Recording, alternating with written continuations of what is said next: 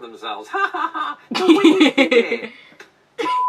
Finally, What's up guys, welcome back to my channel. Today I'm going to do a reaction to American culture. But before we get started, if you guys happen to be new on my channel, welcome. I would really appreciate it if you guys subscribe to my channel. If you end up liking this video, leave a thumbs up. Comment down below if you enjoyed this reaction and if you want to share your opinion about it. Also, comment down below. Let's get started. Today's video is going to be four-way American home or absolutely nightmare. Okay, I'm an Ivorian living in the UK. Well, I live in London. So I'm going to see what's the nightmare in America because I think the, um, the UK has some weird, maybe it's because I'm used to it, but the UK has some weird things as well in home. So I'm going to see what's weird, if it's weirder than us, like let's get started with this reaction because I feel I'm talking off topic. Uh, also, if you want to see the original video of this, I'll put that in the comment down below. His name is Lost in the Pond. He done a lot of amazing video. I think he's a British citizen that live in um, in America now so he shared both ways side of it so I think it's cool. This video is sponsored by BritBox the premier streaming service for Britain's most beloved TV shows. I'm Laurence Brown and I'm on a quest to uncover all of the memos that Britain and America lost in the pond and one of those memos pertains to houses.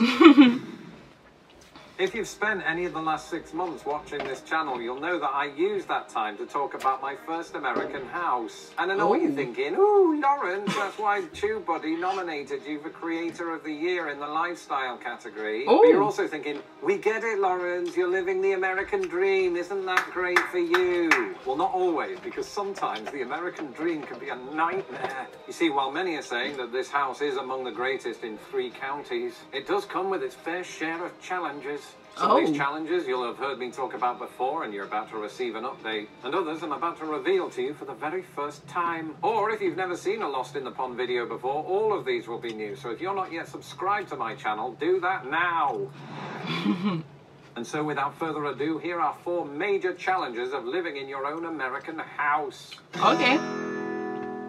What's First that? up, you might have noticed that we are in the room where the furnace is kept, and there's a very good reason oh. for that. Oh. My wife and I were in this very room at 2 a.m. the other night, fixing a very peculiar Wait, 2 a.m.? You see, it all had to do with something that almost all British houses will never have to contend with, and that is the air conditioning. I ah. can hear it, the sound of Uncle Toby frantically typing away, saying something like, Laurence, when are you going to stop talking about the fact that American houses have air conditioning? That was in all caps. And it's true. Well, I do mention this a lot because it's a big mm. difference between British and American houses. True. We don't have air conditioner. When do we need it? Summer. Summertime lasts not that long, to be more precise. Um, but I do have an air conditioner in my room, to tell the truth. because my room technically need it. The reason why I say that is because my room is next to a boiler, like a hot water boiler, that side. So when the as because the bathroom is also that side so when people are bathing over using the hot water the thing is giving my room heat in winter is good because i know i'm not getting cold but sometimes it's not because when summertime come that heat is bad for my room especially my room is very small so i need that air conditioner so i order air conditioner and it's literally there next to the window because I ordered the one that and um, the tube need to be outside or something like that. I'm not so sure if I'm doing right. Anyway, let's continue. And the truth of the matter is, your air conditioning sometimes stops working. It did that just the other night when it was 75 degrees outside. Oh, All wow. of a sudden, after sitting in the living room for about three hours, we realised it's a little bit toasty in here, mate. Sadly, we didn't have any beans to go with it. So we did what anybody would do in this situation, and we put What were you even doing in the, the morning, anyway? And the air that was blowing out of them was doing so very slowly and quite warmly. Now, back when we... Wait, what did he say? Sorry. Footage of air dust clear. Cleaning. Clear. Then mine. Oh. We lived in an apartment and we used to shove these in our windows. The process to stopping that was quite a lot easier. You just pull a filter out of the machine, clean it off, put it back in, and then usually it would be fine. But now we have something called central air, and figuring out the problem seemed harder. Can I put this down? It's really heavy. I was thinking, why are you carrying It it? seemed harder because it was completely and utterly a little bit harder. Because in addition to no cold air coming out of the air vents, these pipes, which lead to that box thing in the garden, again, nominated for an award, were completely frozen over. And in fact, when we went to check on the box thing outside, the pipes were frozen there too. And it's just occurred to me that I should have filmed all of this. It would have made for a great video. But you're just going to have to take my word for it. This is what happened. And of course, as people who previously rented, we never had to take care of a situation like this before. So we looked for answers on a website called google.com. And the first thing it told us to do, and I hope it was correct, was to turn off our system and check the filter. Well, after doing some more reading, we discovered that our filter was located in a box right next to the furnace. I unscrewed Oh. it, removed this door, and pulled out the filter, which looked like it hadn't been replaced since 1974. It's also Oh, wow. a little bit like an accordion, so I didn't know whether to clean it or play it. Thankfully, we had the wherewithal to return to Lowe's and buy ourselves a handy replacement. And here's B-roll of somebody that could be me but isn't, putting a filter that looks like mine but isn't, into a box that's not far off but also not identical. Plus he's Oh.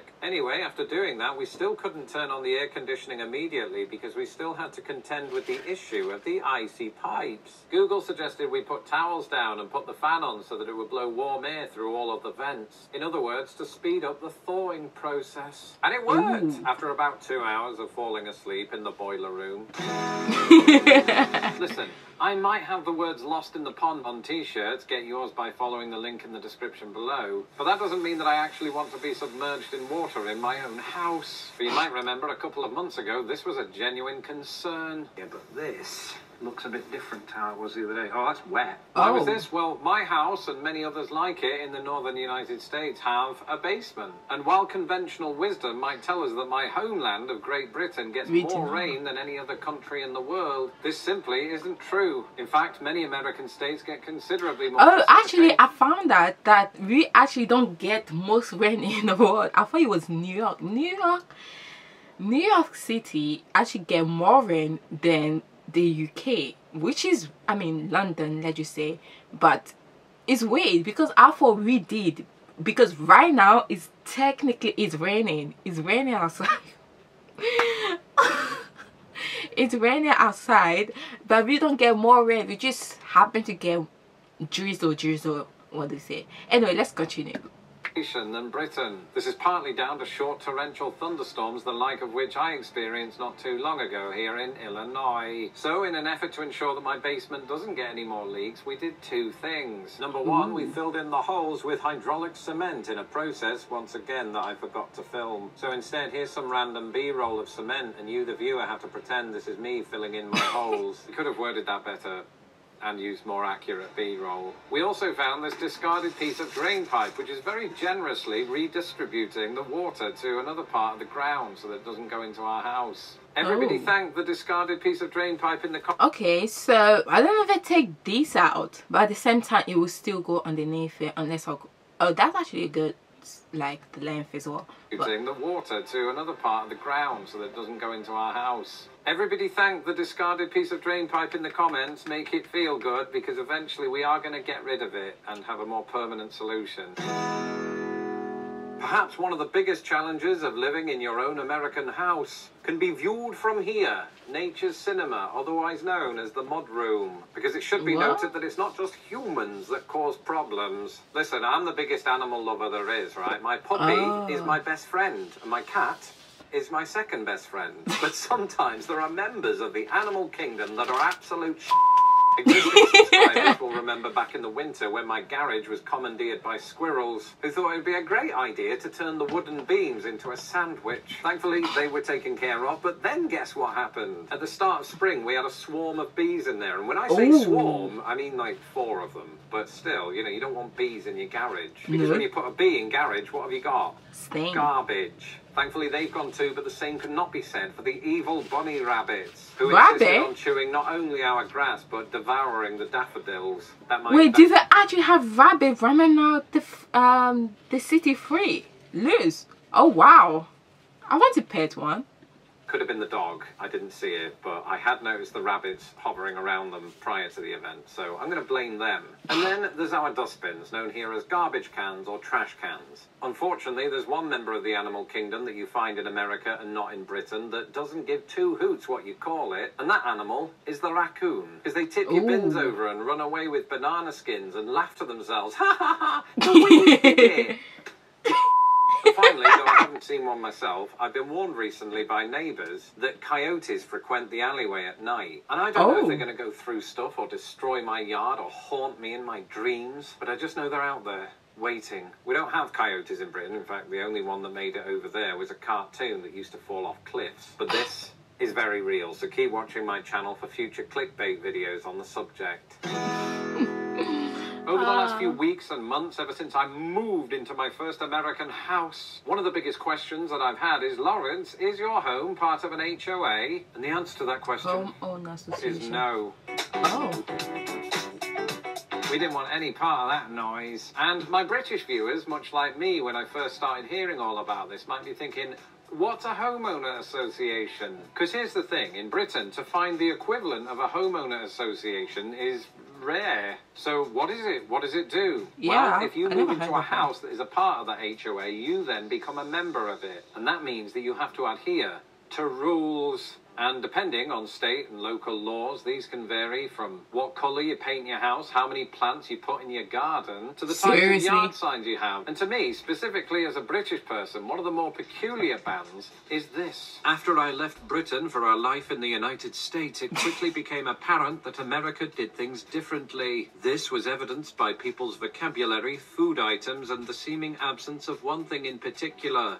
Clotheslines. Back in Oh. Britain, clotheslines or washing lines are a popular mainstay of the drying process, with people unabashed about airing their clean laundry in public. American yards, however, are more often than not free of clotheslines, with the exception of that time my wife's cousin Chad misjudged the vibe of our cookout by dressing up as John Cena. One reason for this is HOAs. Because in some communities in America, there exists an outright ban by HOAs on the use of outdoor clotheslines. Their Seriously? reasoning is often that they obscure the view for fellow residents. But what are they trying to look at? Because if it isn't my matching Abraham Lincoln socks, there's something truly wrong with them. But in recent years, 20 states, including Illinois, have passed so-called right to dry laws, banning HOAs Oh. from doing this. Their reasoning being that citizens have the right to utilize solar power. Still, that means there are 30 states where outdoor clotheslines can still be banned, meaning that millions of Americans will never know the joy, as I once did, of hearing their underpants flap in the wind. so, as a freedom loving British American, I love not being part of an HOA. It's just that somebody needs to tell Suburban Sue, because the post it notes are getting a bit much. And that's it for this episode. This was actually good. Like, for example, the laundry and thing, even though you don't want to do it outside, especially when it's raining, you have like this rack where you dry your clothes on and then you can put it inside your house or outside your house if you want to. That's the one we have in my house. Um, but we mostly leave it in the house because when we go out and then we don't know if it's raining or not and we're, no one's at home to bring the rack inside the house and then it end up getting wet. So we don't like the hassle hassle of that. So we prefer leave it inside and then leave it for it to dry the whole day and then stuff like that. But i didn't know what i did know about the animal and stuff like that but i didn't think it was like rabbit walking around freely that would be cool because i hardly see any place in the in london that you see a rabbit just walking freely. Most of them will be pet in someone else's house but not like freely walking. No i never seen that. And air conditioner i think the british people should adapt that but the thing is we don't really necessarily need it because we don't get that much heat or like weather hot summer here we rarely get. And when we do sometimes there's no wind underneath it. That's the annoying part when there's no wind underneath it. Oh anyway i hope you guys enjoyed this video. If you guys have other song i mean other video you want me to look about america leave that in the comment. And if you have other comments you want to put as well leave it in the comment. I'll read it and then i will try to answer those comments because sometimes when you guys answer when you guys comment it and then it's so long for me to read and then it's so long for me to understand like my brain cell is not like on that on your level. Let's just say my brain cell is down here don't go over there because it's too long for me. Anyway. Anyway i hope you guys enjoy it and i will try my best to answer if you comment but i will definitely read it. That's for sure i will read it. Um i will see you guys on the next video. Bye